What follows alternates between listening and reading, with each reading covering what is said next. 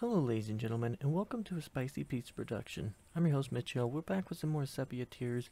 Um, if I sound a lot more quiet, uh, roommates are sleeping, and I just, I needed, I wanted to record a little bit more because it just, it's getting to me. But now, now I gotta tone down the intensity, which, thank God, I'm, I'm hoping I don't have to punch shit. Um, when we left off, uh, we were meeting Lillian after school to, I'm going to assume, confess our love, probably. And then out my head while realizing that there's no turning back. Memories are fickle. They're not there when you need them, and they are there when you wish they weren't. Damn, it's cold. Leaning against the school's hard brick wall as the rest of the students leave for the holidays, I wonder absentmindedly about these past two weeks. The shadows of the bare trees against the snow takes me back. Mira has nothing to do with this. I realize that now. She may have been the trigger, but this? This was set in motion long, long ago. But I shouldn't complain. If this is how the story has to end, then. Hey, I don't know whose voice it is. Lucas.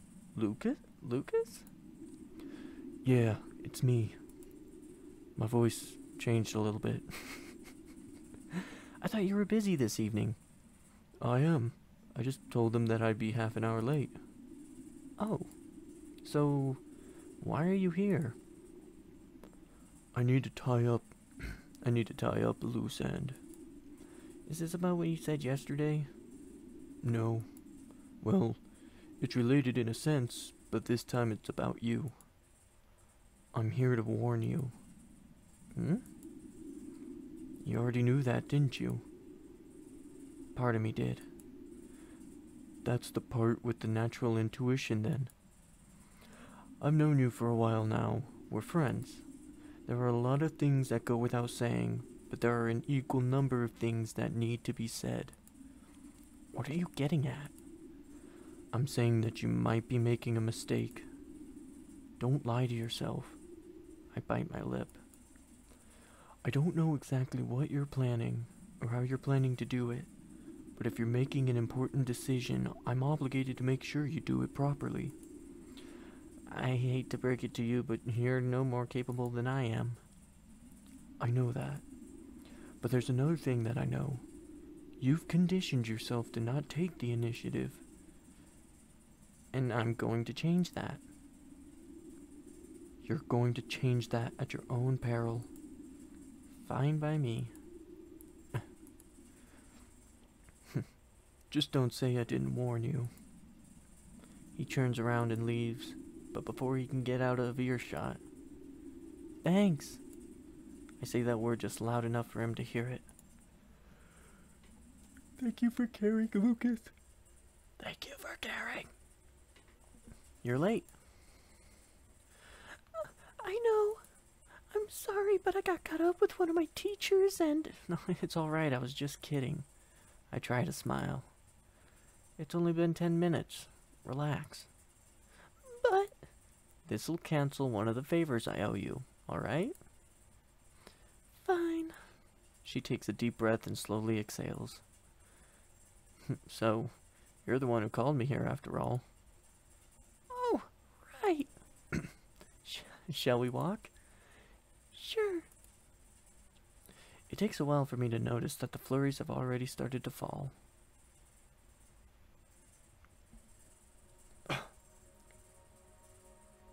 Sip up some water. It feels like magic. A heavy, condensed ball of bliss pulling my heart into my throat. She's the same as always, but something's different. Something in the way she brushes her hair from her eyes makes her look like she's shining. Dude, bro. She may, over the, like, since you first met her, she may have changed a little bit. But what you're saying is, like, literally you are in love with her. Sorry. Whew. Anyways, yeah, it's not nothing that like physically changed. It's just you started noticing, and every little thing that you see her do just makes your the butterflies stir in your stomach and just makes your brain numb. It's, it's it. You're falling, dude. You're falling hard. I can't believe it. All those fragments of conversations over the past year, those jigsaw memories, they all come down to this. One single walk, on one single day, on a snowy winter afternoon. but the silly thing with life is that every anti uh, God. But the silly thing with life is that every anticlimax feels like a climax when you're the hero. Hey, you remember when we first met, right? The science project? Without a moment's hesitation. Yeah, but I was thinking of what happened after that. With the sky. Yeah, I remember. I dreamt about it this morning. Funny, I haven't thought about that day in ages. Of course, I have more of a reason to remember it than you do. I- It's been so long, hasn't it? You used to be so shy back then. I could say the same to you. Yeah, I'd rather not think about that. About it. It doesn't matter. We'll get along either way. Or we get along either way. I guess so, huh? The snow crunches beneath our feet. If you could go back, would you do it all over? Redo our first year? This year, last year, everything that happened before that. Do you think this would be any easier if you could just go back? Maybe. Even so, there's something poetic about the way things fall into place, even if it's a mess. Like an abstract painting, you know? Beautiful chaos. Wow. Beautiful chaos. That is beautifully chaotic. Hmm. I'll have to remember that. Beautiful chaos. That's my life. Lily and I arrive at a small park in a secluded corner of the suburbs. Stupid. It's a nice place, isn't it? I never knew we had a park here. It's always been here. I used to come here when I was younger. Oh. Whoa. Brushing the snow off the surface, she takes a seat on a swing and clutches onto the chains. This area was a lot more populated back then, but for some reason it was always quiet on Friday evenings. I used to go after school. After school on Friday? Wouldn't the place be filled with kids then? I take a seat beside her. you think so, right? But they all used to go to the bigger park down the block. And that's why I like this place. It was quiet. Oh. It was important. Yeah. I didn't have much else to do through most of junior high after all. You've changed so much. You think? I know I'm more confident now, but No, really, you have. Remember that time we went walking behind the school? you were scared that we'd get lost. I think I might still be scared if you were leading us. Touche. There's something sad about our laughter. The calm before the storm. Still, it was different back then. We had to prod you out of the bus stop to even come with us. I remember you promised that we'd find something exciting. Huh. I might have conveniently forgotten about that. Did we end up finding anything? Of course. Hmm. I don't remember taking anything home. It wasn't something you could take home. Hmm? Lillian, There's something I need to tell you. You've made up your mind? Three years ago, I swore I would never do this again. I'm kind of getting goosebumps, but it might just be because the house is cold a little bit. But maybe the answer has been in front of me all along. I. This whole drama has been for something. I know it. My memories of the sepia stained world surge forth, and I.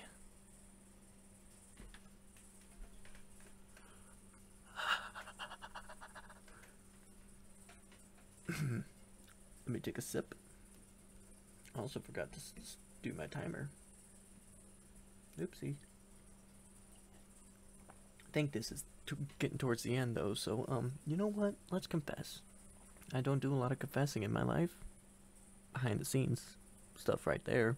And like usually I'm too scared to really confess anything because I like the tranquility in my life and I don't want to ruin it. But you know, you you got to take the risk. You got to take risks. And we're we're to do it. We're to confess whatever we're confessing to. Probably love. I'm sure. It took me a year to realize it, but I fell for you when we met on that autumn day. I hear a pin drop somewhere in the distance. Ew. I close my eyes. T- you. It's just like before. Just like last time. It'll never change. But.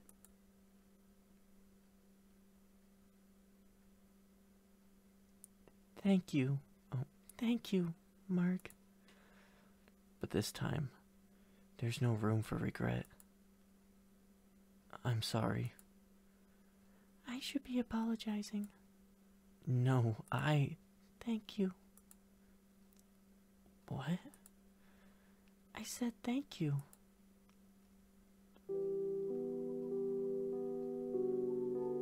She climbs off the swing and dusts the snow off her lap.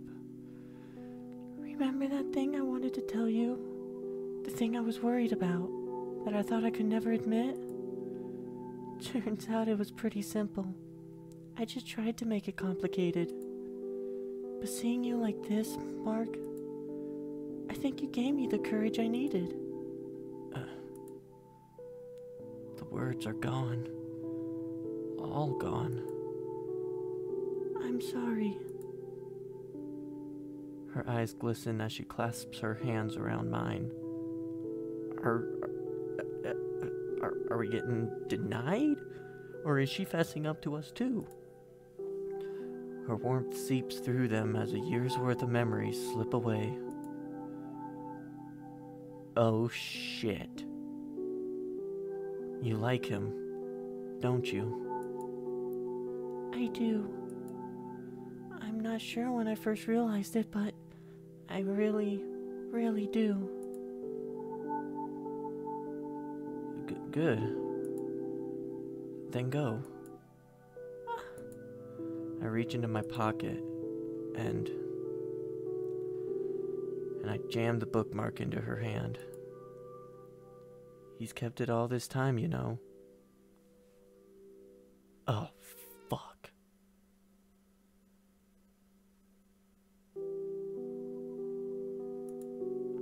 It means a lot to him. So, by the time he gets home and looks over his stuff, he'll probably realize that I swiped it. Before that happens, go give it back. Thanks. I'll make it count. One by one, her footprints take her away. One more thing karaoke. New Year's Eve. You in? It's a deal. The silhouette that I fell in love with fades into the whiteness. Ah, mother.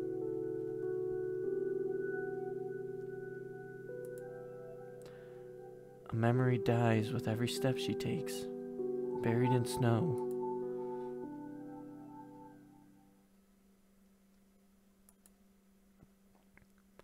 I arrive home in a daze, only to notice a letter sticking out of the mailbox. Strange.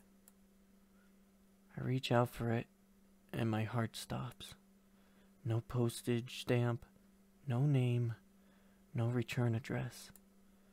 Only to Mark, handwritten in clean cursive.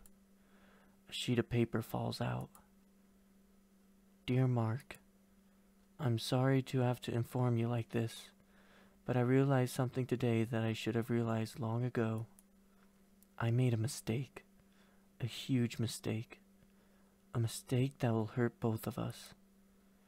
Before this can happen, I'd like to see you on the 24th of December at 9 a.m. in the place where we first met. You may decline if you would like, but if possible, I would like to see you again. For once. Just one more time would be enough. Once more before the end. There's a final line written on the back. P.S. I'll return the ribbon to you at the end of the day. I know how much it means to you. Uh, uh, what? There was nothing I could do. I stood alone on the doorstep, with the cruel, frigid wind at my back, reading and rereading the letter until I wanted to cry. Oh, bitch. You know what? Fuck it. We're ending this series today.